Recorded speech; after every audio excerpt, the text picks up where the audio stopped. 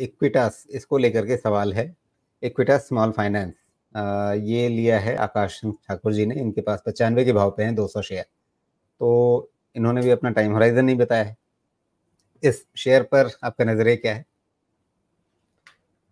देखिए, इन्होंने जिन लेवल्स पे लिया है, वहाँ से थोड़े हल्के मुनाफे पे बैठे हैं। हालाँकि मैं ये जितने भी बैंकिंग और एनबीएफसी स्टॉक्स है, उन पे बुलिश हूँ। मुझे लगता है आने वाले साल में ये परफॉर्म करेंगे और विद इन द स्पेस जो स्मॉल फाइनेंस बैंक के स्पेस में Equitas also looks good but मेरा जो ज़्यादा पसंद आता है मुझे आजकल उत्कर्ष स्मॉल फाइनेंस बैंक मुझे ज़्यादा अच्छा लगता है but this stock also is good और uh, मुझे लगता है बने रह सकते हैं अच्छे लेवल्स पे लिया है दस परसेंट के करीब के प्रॉफिट्स में है तो uh, होल्ड करना चाहिए इसमें बाकी फ्रेश खरीदारी के लिए मुझे लगता है Utkarsh small finance bank at close to around fifty one fifty two looks to be good buy ji